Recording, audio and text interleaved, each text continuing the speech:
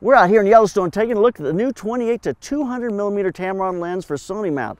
Let's do a hands-on review. Let's get started. Hi, this is JP Morgan. Today on the Slanted Lens, we're out here in Yellowstone. We've been having a great time here shooting with the new 28 to 200 millimeter 2.8 5.6 lens from Tamron for Sony. This is a great lens for this kind of a thing because it's so nice that you have a 28 millimeter, which is a very wide view. Great for these kinds of scenics. You're gonna do the kind of scenic work to 200 millimeters where I got some great shots of buffalo, which worked out fabulously because it goes to a telephoto at that point, 200 millimeters. Because this is a native Sony mount lens, you're gonna get all of the features you expect from a Sony, like eye tracking, the autofocus is gonna function perfectly. That's really what this lens is about, is being able to use everything that your Sony camera will give you with regards to autofocus, and it's built into this lens as well. They take a lot of things off from the lens, like autofocus buttons and that, and it's going to be internally in the menu of the Sony. And that really makes these much more streamlined, but it really gives you a small form factor that you can carry with you and it matches the mirrorless camera. I think that is the genius of this entire series, and I think this becomes a capstone because this becomes the lens you carry with you when you walk around. You know, when I'm walking around and shooting, we're walking through the geysers, walking on the trails, it just gives me a great vista lens to a really a telephoto lens. So these lenses are designed for full frame, but you can't put them on an APS-C sensor, which is gonna give you like a 42 to almost a 300 millimeter lens on that APS-C, which is fabulous if you want to have a lot of reach. It's really important to understand the variable aperture when you buy a lens like this. At 28 millimeters, I'm at 2.8, but when I go to 50 millimeters, I'm gonna be at 3.5. When I go to 100 millimeters, it's going to go to 4.5. When I go to 150 millimeters and above, it's at 5.6. When I'm working outside with a lens, that has a variable aperture. A lot of times I'll put it on aperture priority and I'll put it at 2.8, but it will automatically go to that 5.6 as I go to 200 millimeters. I come back to uh, 28 millimeters, it's going to go to 2.8. So either that or I'll set it at 5.6 because I'm feeling like, you know, I'm doing scenics, I've got so much, I, I need depth of field here. I'm not worried about it being wide open. I got plenty of light, I'm in the sun. I'll set it at 5.6 and just an aperture priority and then I'll let the shutter track. And that just is a very easy way to use a variable aperture lens. I got some great shots at that Midway Geyser Basin. That orange and blues were just so beautiful, but I shot a range. There's 28 millimeters and then I cropped in. I went from 28 to 35 to 50 to 100, 135, and 200. So there are those images in a row. You can just see how that telephoto reaches out and isolates. I love how close this lens focuses.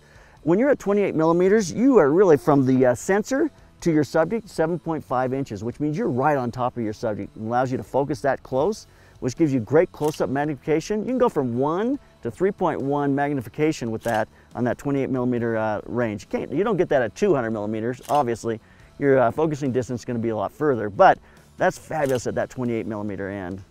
We've been concentrating on scenics out here, but the reality is this is a great walk around video and still lens. I think this really gives you a lot more options because you've got a 28 to 200, and even though, even though you're going to 5.6, you can get a very shallow depth of field to that 200 at 5.6, gives you a great stacking of the people when you're doing video. I think there's a great video lens as well. There's a great video application. My experience, and here are some of the images, this is very sharp lens. Even through that entire zoom, it's a very sharp lens.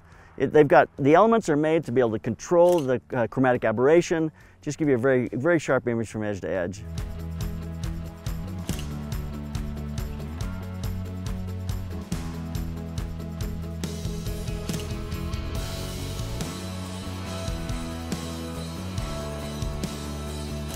I think this lens just is about versatility.